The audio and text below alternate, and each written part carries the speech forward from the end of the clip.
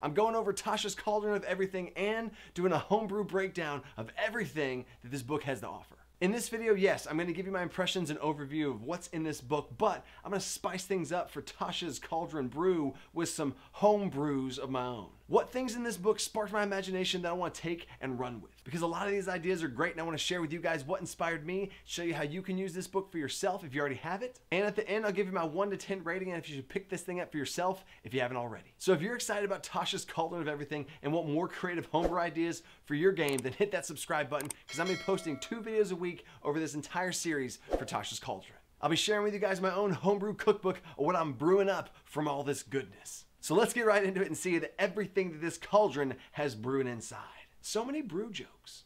Here it is, guys. This is everything inside of Tasha's cauldron. It's a little after 1 a.m. right now. I've been diving through this for about an hour. I usually don't buy it on D&D Beyond, but I wanted to get this thing to you guys as soon as I could. Using this book, we got all the different chapters we talked about. I love this concept of everything's optional. When I first came to tabletop role-playing games, I thought this part was the coolest part, and it's what I've honestly done a lot with my channel about everything's optional. Even the homebrew rules I try and give you guys. Take those, twist, they're optional. Take them, leave them, change them. I want you to do that type of stuff. Uh, Unearthed Arcana, a lot of the stuff comes from Unearthed Arcana. And then they got this cool section about 10 rules to remember, and I had to stop myself at number three with advantage and disadvantage because I do hate this. Even more than one factor grants you advantage or disadvantage, it only counts once. Now, yes, I agree, multiple advantages in the form of rolling multiple d20s to where you're rolling three or four d20s, that would be dumb, but it doesn't make sense that they just wash out to just one advantage. They should add and stack onto each other. So, my homebrew rule for this is every additional advantage is just a plus two added onto the roll. And I also like rules that are a little carrot dangling out in front of your players to get creative and think together and work together to try and get this roll, if it's really important, to be as big as possible. But if you feel like this advantage stacking is too much, nerf the two down to one and at least give them something for working together with a little plus one each time. When we play this game, each of us are going to homebrew it differently or run it rules as written, and that's totally fine because it's all about having fun. So let's get into chapter one. This chapter has five main sections that custom lineage system, the artificer reprint, all of those subclasses, along with optional bonus features for every single class and some more feats. This first chapter here is what I'm doing a deep dive on in a few days, so make sure you subscribe and you don't miss it because I'm also going to be giving away some books. And I'll be giving you guys a sneak peek of my own homebrew system that combines everything that I just said into one system. But we'll get into all that later. Let's go. One of the things that excited me the most about Tasha's Cauldron of Everything were these character options. And it's because I've been using these for years. It was so cool to see Wizards of the Coast let people think outside the box, but I guess this would be now the box is bigger, so this is now inside the box. But you get the idea of releasing those restrictions of certain races getting certain things, and you can really, really make your own. So going through here now, we got some awesome art and stuff. Customizing your origin, okay? Basically, this means that whenever you pick a race in any race that you choose, you can take those ability scores and put them wherever you want. You don't have to put that plus two to Constitution in the Constitution. You can put it wherever you want. And if you have a plus two and a plus one, you can put everything wherever you want. That's what the ability score crease means. Languages, of course, if you come from a different spot, it doesn't make sense that your character would know that language. You can switch any language to another one. Same thing here with proficiencies. If you don't feel that your character would be proficient in that, you can switch to something else.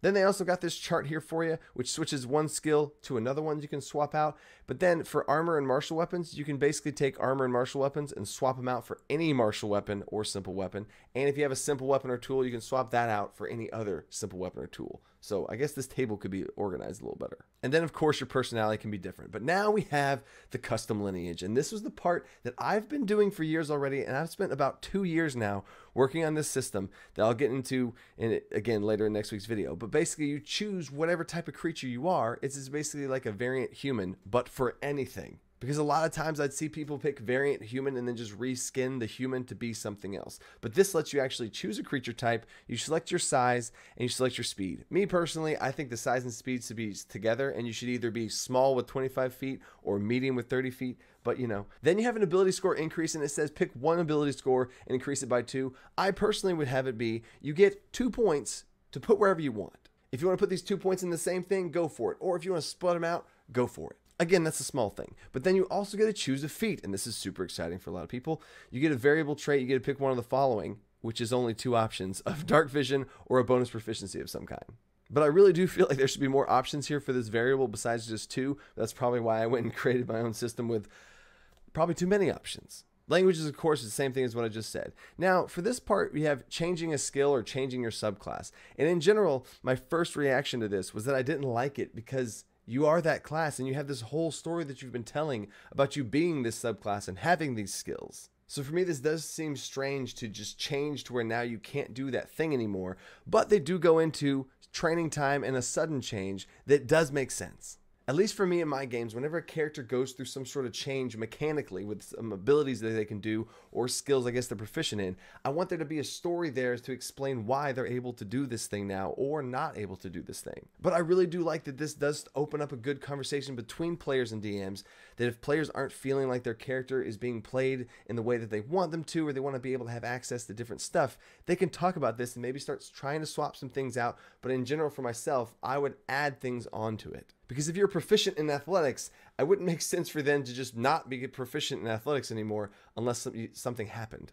So my homebrew fix for this is my bonus level up system where every single time a player levels up, I give them an extra little bonus perk. Sometimes it is a skill where if they've really shown throughout that previous level leveling up that they're working on something, whether it's performance or deception, they've been lying a lot. Whenever they level up, I give them the proficiency that they wanted or some cool custom feature. I think doing that as a DM has let me reward my players for playing the character the way they want and empower them to keep playing the character the way they want. But if things get too out of hand and you really feel like your character's too, too far away from these small little changes, maybe you can have this big sudden change. Going to the next chapter. Oh, the Artificer. Yeah, I never even had the Artificer from Eberron, so this is actually really nice for me to be able to have an actual resource for an Artificer now. And now for every single class, they have the optional class features, which is basically when in the player's handbook, at certain levels, you get certain things. This gives you an option to choose a different thing instead of that thing if you don't feel like that fits your character. I'm always down for more options. And then they go into the subclasses of all the different stuff that they have for each of these subclasses. If you guys want me to do full blown deep dives on some of these subclasses, you got to let me know because in general, I'm not going to go into every single one of these subclasses because there's so many of them. And in general, I have more homebrew stuff that I do instead of one specific subclass. But what I am going to do after this main stint of Tasha's videos is done is do a Path of Wild Magic Barbarian because it is my favorite subclass. I have some homebrew tweaks that I make to it, and I have an entire D300 homebrew wild magic surge table that I made every single one of, but that's going to be for a later video. So we're going to go back to the table of contents now and go to the actual thing overall. There's all those subclasses. My goodness. Feats I'll also talk about in that custom video. Let's get to chapter 2. Group patrons were something that I was unfamiliar with before this book's release. I know it's been out there before, but this is basically whenever your group is a part of a group. They are underneath and working for some higher entity above them. And it gives a whole bunch of different examples here. The book goes into how they actually work, which is pretty simple. You do stuff and you get stuff. The biggest thing I did not know here is about this group assistance thing. This is an actual mechanical advantage in the game in the form of advantage that your party can give each other. If your party is working for this group patron, anyone within that group can grant advantage to another person once per long rest, assuming that they can see and hear them. I really like this because this hits on that team unity thing and really lets them work together again. And like I said a second ago, this advantage thing you can help and stack together. Going on through now, of course, this group would offer perks in some kind, which is going to change for each one. Assignments, this is a little quest that they can go on. Yes, example patrons, this is what we're going to get into now. Basically, what or who is your party working for? I'm going to do a full dive into this for my second video over group patrons. But for the overview here, each of these group patrons breaks down into five different categories. The first one, once you've selected it, is type. What type of ancient being are you working for? And then you go into perks of what types of benefits did this party gain? Why would they want to be in this group in the first place? Then you have some sort of contact that you're able to talk with one on one. Then there's the position or the title that you have within the group that you can obviously work your way up through. And then overall, at the very end, there's quests of what quests do they send you out on. And then the whole thing ends with being your own patron, which I think is a great concept if a group wants to actually flip the tables and them run the group. But I'll be getting all that in its own video. Next capture here we have is Magic Miscellany, which is all the magic stuff in Chapter 3. We got a bunch of new spells, and they entirely redid all the summoning stuff. Let me get all those spells in one thing here so you can see them all. There you go. There's 14 of them if you take all those summon spells and condense them into one. But I'll be going through each one of these in its own spell video, very similar to how Davvy Chappy does his spell videos. He's another DC YouTuber, eh? Davvy Chappy, DC, yeah? He's another D&D YouTuber with a fast-paced, funny channel with a lot of great tips too. And just maybe, I might be a part of a collaboration he's doing that's going to blow your minds. It's going to set a D&D YouTube record. But getting back into the spells, I'm not going to go through every single one of these in this video, but the cool thing I do want to talk about is personalizing spells. This is yet another thing that I've already been doing for years, so I really feel synced up to Tasha's book in this way. But I love that they're putting this out there to inspire more people to get creative and do this thing. This basically just changes the visual aesthetic of what your spells look like and customizes them to you. How does you casting the spell shield compare to someone else? If you're a fiery sorcerer, maybe it's a small wall of fire right in front of you to protect you. Maybe an abjuration wizard has a literal blue barrier that you can kind of see through. Classic. Or what if you're a conjuration wizard? Maybe you conjurate a suit conjurate? Is that a word? Maybe you conjure up a suit of armor on yourself that gives you 5 AC. So cool and personalized. But this is the homebrew ball that I'm going to take and run with in its own video. I also do got to show you this though. It's a magic missile chicken picture. That's just so, so great. A farmer sorcerer, magic missile chickens. All right, so the next chapter, after magic, we get into magic items. And there are a lot of magic items here, way more than I thought there would be. Oh my gosh, there's so many. Magic items, though, for me, I usually homebrew from scratch all of my magic items, so this will be a great source of inspiration for me, but I don't see myself doing a full video on that. But if you want to see what I would do that, leave a comment down below. I, I don't know. But what I am so excited about are magic tattoos. And again, this is something that I've already been doing in my games as well. Matthew Mercer from Critical Role had his own tattoo system that I didn't really know the inner working mechanics of, so I created my own and put it into my city. So the way I run them is a lot different than how these do, because these tattoos, if you read, um, it's a needle that has some sort of enchant on it, and you hold it over the person, and it whew, turns into a tattoo. I see this as more of a trade skill that I'm going to get into more in that video, and add some more homebrew tattoos myself. But if you're talking character customization, this book is next level, giving not only can you take your character and do whatever race and lineage that you want from it, you can tweak and change all of those things. Then we already went into changing your subclass and skills around as you play, which is very dynamic. Love that. And we just talked about personalizing your spells, customizing those. Now you can customize your body with some magic ink. But I will say a strange thing here that I understand mechanically why they did it is that you have to attune to tattoos. I'd call it a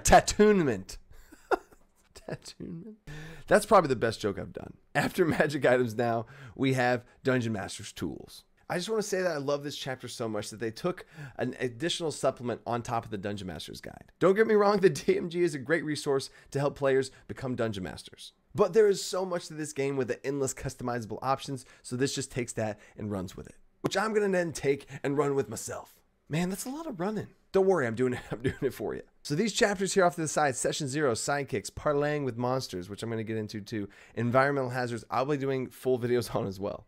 The first thing to go into is session zero here, and it's actually funny. The first video I posted on this channel that was an actual video was session zero. So if you want to see an exactly one year ago me go through a breakdown and take probably longer than I need to to say everything I did, I should redo that session zero video.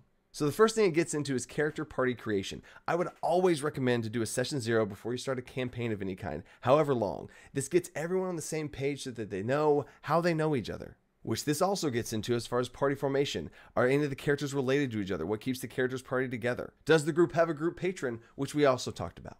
You can also do cool things here as, as they're sitting around the table. How do you know the person's character to your left? I even, as a DM, like to give cool extra bonus stuff in the form of maybe some sort of item or some sort of bonus perk or some sort of bonus proficiency, maybe even if the players have cool connections with each other. Keep things smooth and rolling. And then you have the party's origin. You can kind of help with where they came from. Did a festival bring them together where the characters overcome some sort of foe? Which also gets into how to start your campaign, which I also have a full video on. This part was interesting too running a game for one player. Super awesome. Then you got the social contract, which is huge. It's this unspoken thing that sometimes needs to be spoken about what the expectations are to be able to respect everyone. And I was impressed because this book also goes into the soft and hard limits of what people are comfortable or uncomfortable with. And moving on through to the end, you have game customization of how you will implement house rules at your game table. But for real, this part is huge, and I know I do a ton of homebrew stuff, but as I say a lot, you should customize what homebrews you use with what your players are comfortable with. And to answer this question, I get asked a lot of how much homebrew is too much. However much it confuses people. Homebrew should make the game easier or more fun. And as soon as the homebrew stop doing that, or there's so many of them that starts getting confusing, that's when it's too much. Which is why I try and keep all my homebrews nice and simple. Next section here is on sidekicks, and this is something I was really excited for them to take from the D&D Essentials kit and bring it into a full-blown book. I had my own homebrew solution for this, but I really like the amount of structure that this gave because my homebrew was a little bit amorphous and a little bit more difficult to try and give as a tip to somebody else, but this really helps with that. I'll go into more of that on the sidekick video, but you can create a sidekick which is perfect for an NPC that you want to bring along with the party, or you could have a player character play this thing. The best way I've used it in that situation was I had a brand new player that wanted to play with their friends who had already been in a campaign, so I brought them in as a sidekick. But in general, this gives a stat block and structure to how your players can actually run an NPC. Again, there's a lot to this that's really cool, and I'll get into that more specifically in the other videos. The next section here is really cool called parlaying with monsters. What does parlay mean? It means your players aren't murder hobos and just kill everything in front of them. So this section will probably not be useful to you at all, because that's all players ever do. no, but for real, this is something that's absolutely huge to stop players from being murder hobos. It gives some sort of personality to these monsters that they have more than going on than just kill everything. You can research about the monsters through the different type of intelligence checks, and you have monsters' desires. Now they give D4 tables for all of these, and there's so much more that you can do with this. But I love that that's that's all that they needed to do is just give a little bit of pinch of inspiration that you can also look through all of these tables and steal for the other ones as well. Beasts want fresh meat, a soothing melody, brightly colored beads, an odd stuffed animal or other trinket. And if they get this thing, you don't have to fight them and kill them. The player should interact with the world and think about the world instead of just murdering it. Although this one was really cool. Where is it for fiends? Here it is, your soul. Okay, maybe they'll have to fight for that one. But this also reminds me of the Witchery monster video that I just did. Instead of having your players have to learn about things of how to kill the monster, they could learn about things on how to avoid killing the monster, how to pacify it, and maybe even turn it onto their side. Super cool stuff. Getting into environmental hazards now. Now, this section right here, I was really impressed with because I love each of these. You have supernatural regions, which speaks to me so much because I'm a, I'm a big planes person. I have an entire PDF homebrew that I give all my patrons that have every single plane of existence flushed out with different interworking mechanics. And this really felt like that. These supernatural regions get into different places that have blessed radiance. The far realm, that's huge. There's not much documentation on the far realm. A haunted place that's all spooky. A mirrored zone that has like illusions and different things spawn. It, it, it was really cool. Ooh, and I gotta say this, my favorite supernatural region is unraveling magic. It's basically an area where magic itself is ripping apart and unpredictable. They even give you an unraveling magic effects table here that's very similar to a Wild's Magic Surge table, which also speaks to me just at my core. You might roll in this thing anytime a charge of a magic item is used, use a first level spell slot or higher, or this was cool, a dragon, fey, or elemental creature of challenge rating 5 or higher dies. This book is just sparking so much creativity. This gets you thinking so far outside the box that you're in other realms of existence. So I want to know what you guys do. You guys want to see entire videos on supernatural regions, uh, magical phenomena, which is I'll get into in a second, and natural hazards because I could definitely do all three. Or I could do a faster one and pack it all into one. I want to know what you guys think down in the comments. So that's supernatural regions, but magical phenomena is different, like an eldritch storm. How cool is that? You also got things like emotional echoes or enchanted springs. These are basically all different effects, which you don't have to go to another realm of existence for, like the supernatural regions thing we just talked about. This is something that's happening usually for a temporary amount of time in a certain location. I don't know, there's just so many cool things in here, like mimic colonies. That's an entire place where every single thing you see is a mimic. You yourself, as a dungeon master, would know that, but the players have to figure that out. So many different cool things you can throw at your players. And speaking of stuff to throw at your players, you got natural hazards. And what's funny is I also feel synced up to Tasha's Cauldron of Everything in this way because they have avalanches and falling into water, which I do differently, and I have my own homebrew system that I talked about in another video and in my Icewind Dale Arctic Survival PDF. But this also goes into falling on a creature where you share damage if you fall on another creature, which I love that. Uh, spell equivalents to national ha- national hazards, natural hazards of different spells. Where you have a blizzard spell, it could be cone of cold, ice storm, sleet storm. All this stuff is already existing in the game. So now for the final chapter in this awesome cauldron of everything is puzzles. I have been working on for a while now videos on puzzles, traps, and riddles because I think they're huge and there's so much to offer as help for players. And then this book comes along and does it again. I feel like I should work for Wizards of the Coast now. I'll be doing my full video on puzzles too, but this gets into why are the puzzles, puzzles elements, difficulty, puzzle features, the solution, and how you should handle the solution, hints and different things you can give your players along the way with clues, and customizing the puzzle to your party. The odd and creepy eerie thing again is that a lot of the things that I was building out as the outline for my video are laid out here too. And it also goes into giving different hints on how to run puzzles and then running puzzles yourself. And then I love that they actually go into giving you 13 different puzzles that you can run yourself Skeleton Keys, Elusive Island, Exact Change. And the very last thing they go into is puzzle handouts, which this is also huge, is giving out actual tangible things to your party members that they can either use to solve the puzzle or that they get to be able to see so that it makes sense in their heads when they're looking at it. So there it is, guys. That is everything inside of Tasha's cauldron of everything. What do you guys think? Are you guys excited? I want to know down in the comments. Let me know what you guys want to see because I'm about to make a bunch of videos that follow up this thing and I can answer questions there. But for myself here, what would I give this thing as the DC? what would I set the DC at for this book? A DC of 1 would be you should definitely not buy this book. Do not get it. It's useless. A DC of 5 would be is if things that I said speak to you and you really like this type of stuff, then you should get it. And a DC of 10 is, oh my God, everyone needs this book. So personally, I would set the DC here at 9. And I'll say this too to be completely transparent. It's only a 9 because this is the first book review I've done like this. So I feel like I shouldn't give it a 10. Because you know, the first rating being a 10 really, I feel like it's not allowed. But now there's at least some wiggle room to see if any book in the future can dethrone Tasha's Cauldron. But for real, I do think this book is an amazing book. It's for players, it's for dungeon masters, it's for the entire group. Even just one person at your group having this book takes your game to another level because it gives so many different customizable options to the players, whether you're creating your player, playing through your character, different subclasses for your characters, and then you have the entire group patron thing that I thought was super cool that I didn't even know about before this. Dungeon masters have their uh, no magic. There's so many different things from magic with magic tattoos, spells, magic items. Dungeon masters have entire inspirational resources that have to do with supernatural regions, magical phenomena, environmental hazards, puzzles. There's just so much stuff that has inspired me to make more videos to help inspire you guys and take this stuff and run with it. So now it is 3 a.m. here, guys, and I've got to get this video out, edit it, put it out. I'm not going to be able to send this to my editor because I'm going to turn around too quick, too fast. I'll post it, get it out to you guys. Then I'll get some sleep. So if I don't comment right away, you know why. You know why. So check out those links in the description once I post them about everything else I've been brewing up for Tasha's Cauldron of Everything. And if you like even more homebrew stuff, I just released my monthly homebrew PDF for November for my patrons. It's a purely homebrew PDF and has tons of magic items, cursed items. It has my paladin subclass that I created with that arctic theme called Oath of the Rime. It's basically a paladin whose aura is a literal blizzard. Pretty cool. And it's also got a fighter subclass of a Death Knight that I think is super awesome, and a five room dungeon that has a mysterious theme to it. I also recorded a full blown video that I attached to the PDF to give to my patrons too. So anyone that joins my Patreon in the month of November will get everything that I just said and any reward tier they join, on top of all the other stuff. And that reminds me, I'm doing a huge 10,000 subscriber giveaway right now for everybody. And speaking of 10K, if you want to hit that 100K goal, it's time to dial things up to 11. So I'm going to be coming at you guys with more and more stuff. So stay tuned, stay creative, and think outside that box.